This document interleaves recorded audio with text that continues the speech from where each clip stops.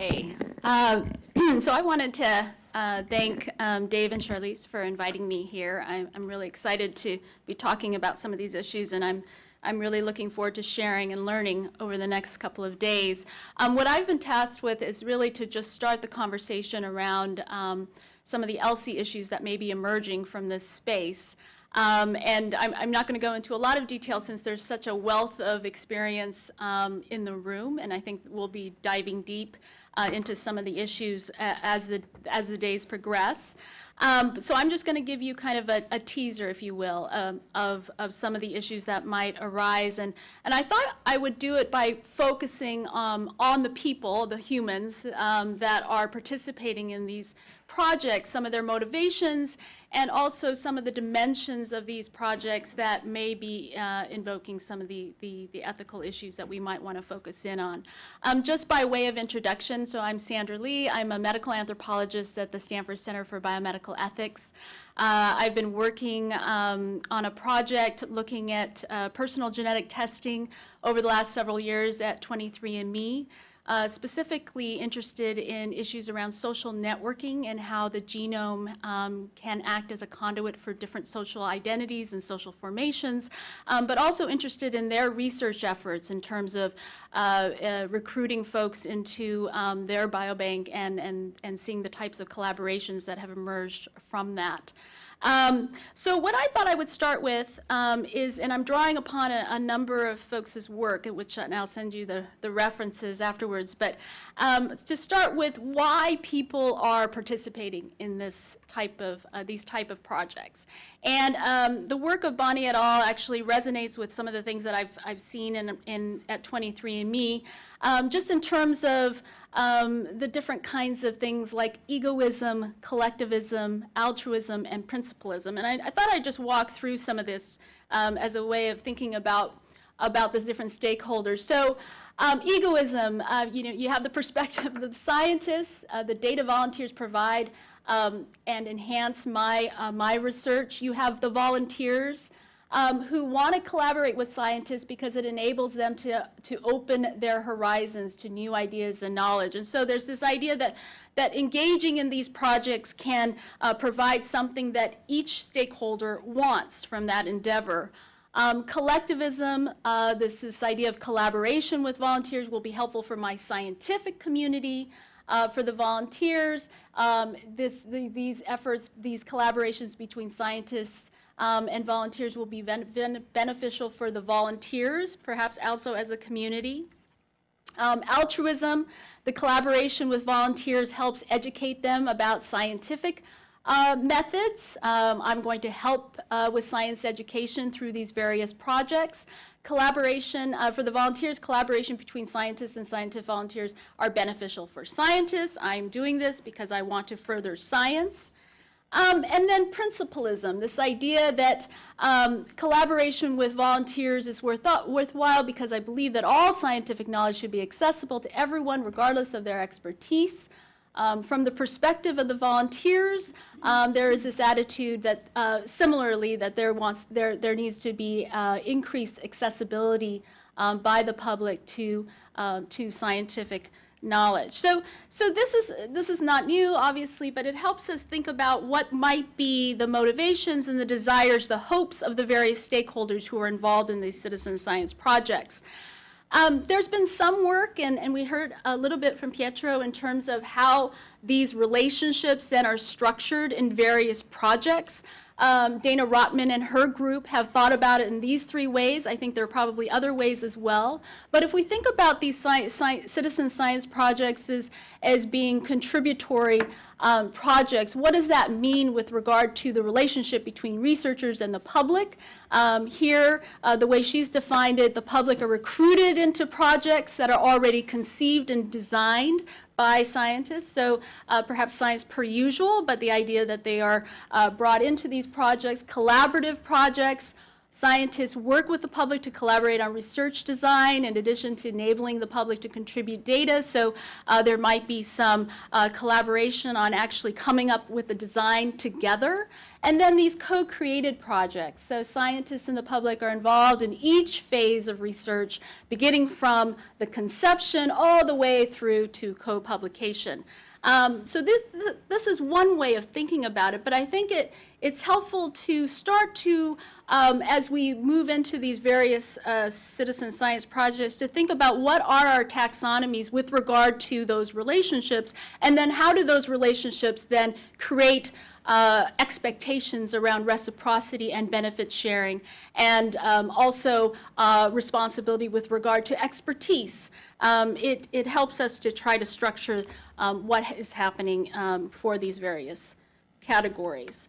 Um, so what I thought I would do now is just to go through um, some dimensions of these projects and uh, to think about what are the kinds of questions that might emerge. And this is not to be exhaustive, um, but it's, best, it's, just to give us a sense of um, what are the kinds of qualities that uh, we can pick up from these different citizen science projects, and how does, how does the public think about what they're getting out of it.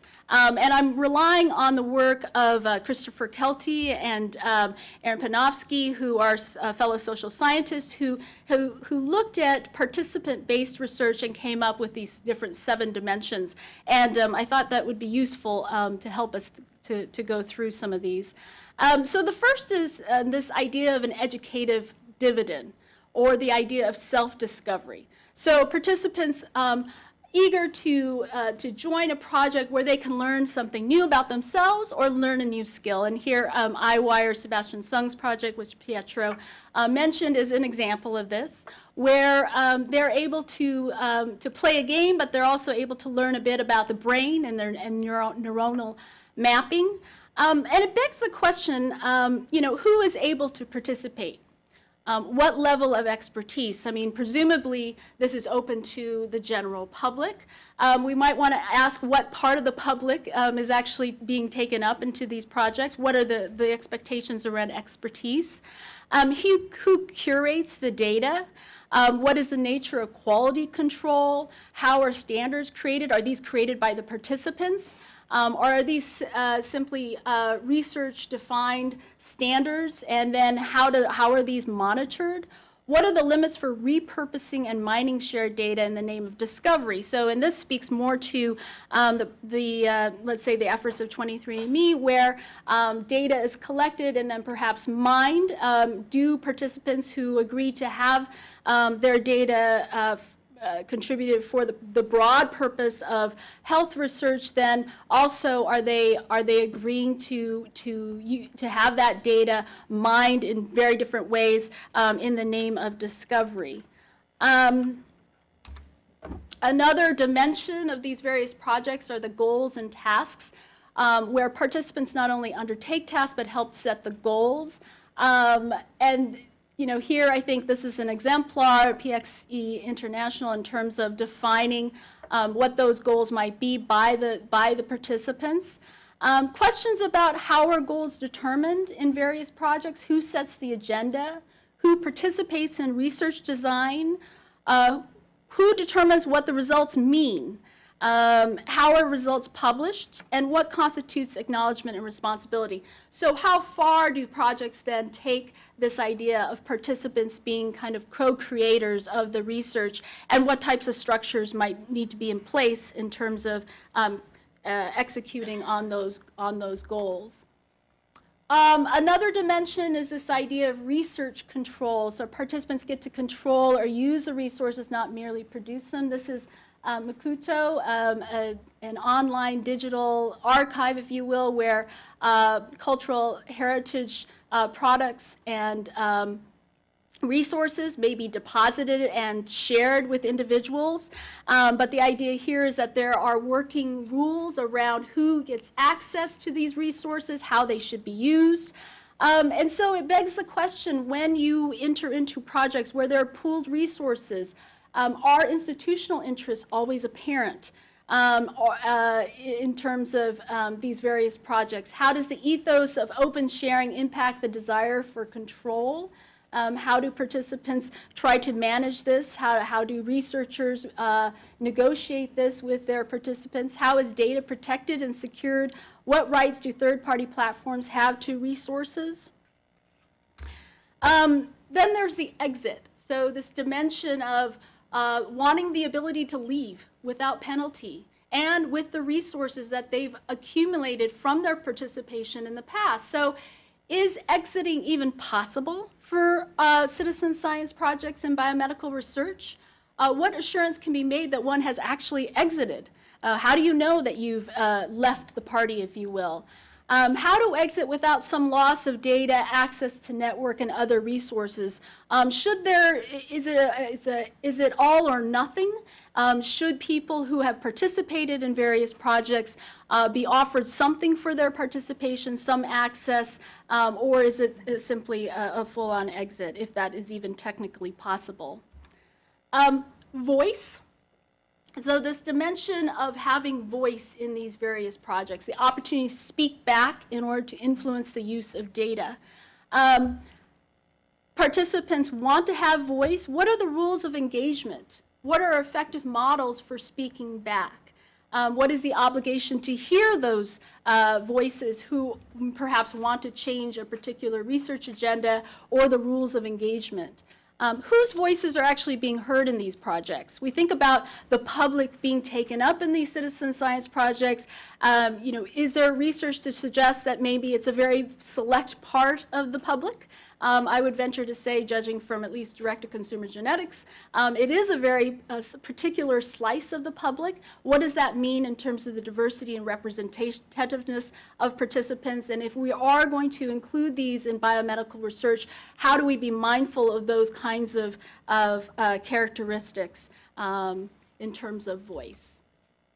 Um, another dimension um, that, that has become um, exceedingly popular is this idea of gaming and having visible metrics. So participants are really interested to see how, how they're progressing in whatever uh, project they're involved with. So these empirical demonstrations of connection between participants and outcomes.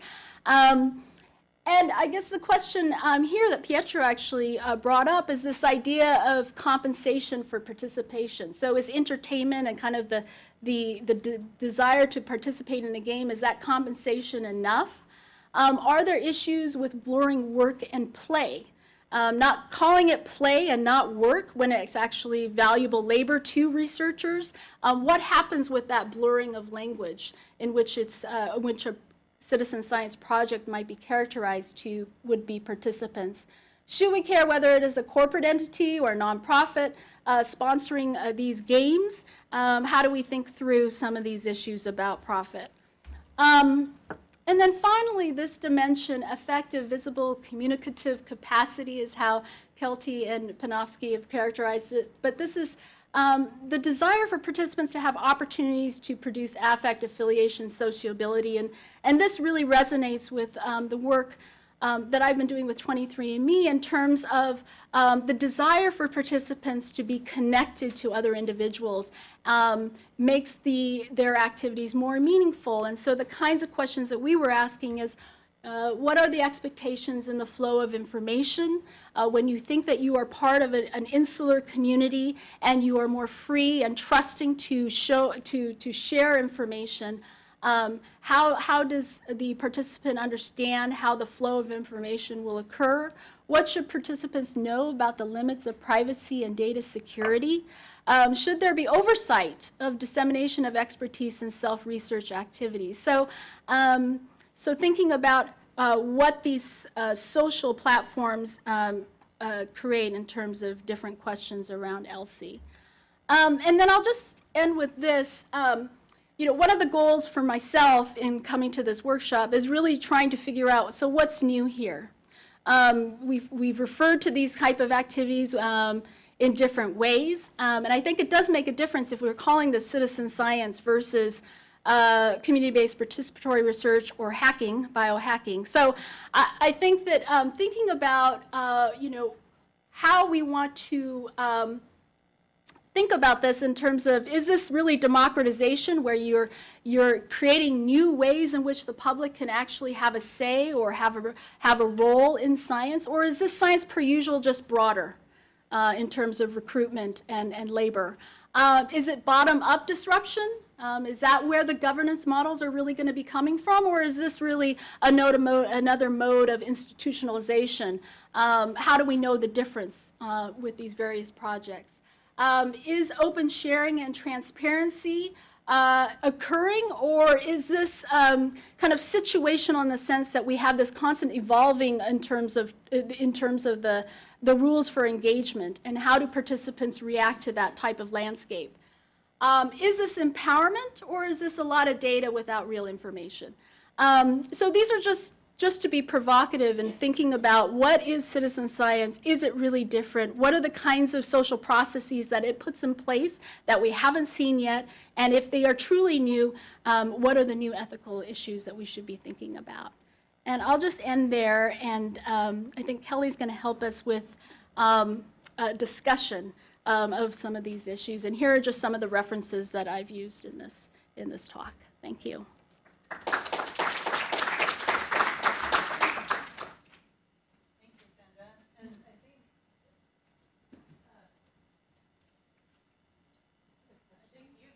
You've heard a lot from the previous two speakers and I think from your morning conversation. So, and I am especially motivated to have us break on time because the coffee is upstairs. It's not in this room.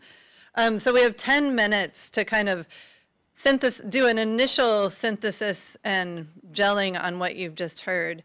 And we know that this is just going to be a start. So what I want to invite you to do is take, literally take um, two minutes and just for yourself, you just heard a lot. What are what are the new are there new ELSI issues here that citizen science poses to us? Are there are there some some old ones that are we don't want to throw out that are, are really important for us to keep on the table as we're working in this newer space?